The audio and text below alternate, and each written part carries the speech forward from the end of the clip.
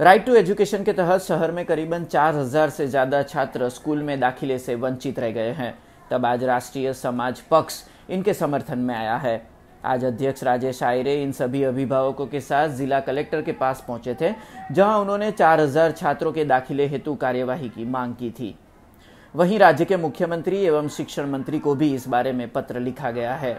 अगर आने वाले दिनों में सरकार की ओर से कार्यवाही नहीं की जाती है तो राजेश आयरे ने हाईकोर्ट में भी याचिका दायर करने की बात मीडिया से की थी શિક્ષણમાંથી ભ્રષ્ટાચાર શિક્ષણમાંથી ભ્રષ્ટાચાર જિલ્લા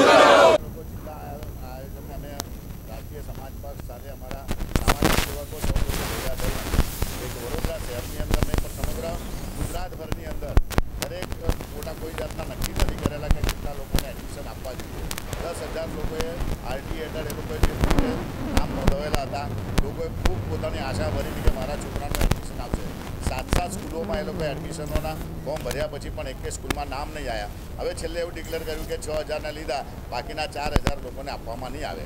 હવે નહીં આપવામાં આવે એટલે એ લોકો પોતે કોઈ પણ સ્કૂલમાં બિચારા ગરીબ માણસો છે, ગમે તેથી પેટ ભરીને પોતાના પેટે પાટો બાંધીને બીજે ભણાવશે.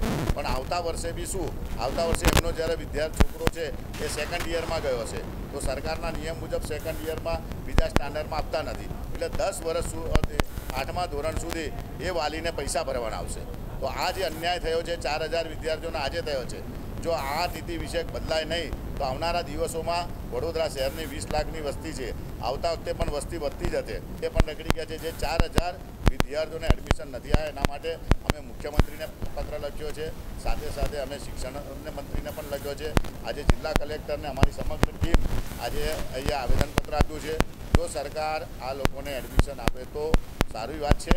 નહીં આપે તો જે ચાર લોકોને અન્યાય થયો છે, એના માટે અમે સરકારની સામે હાઈકોર્ટમાં પણ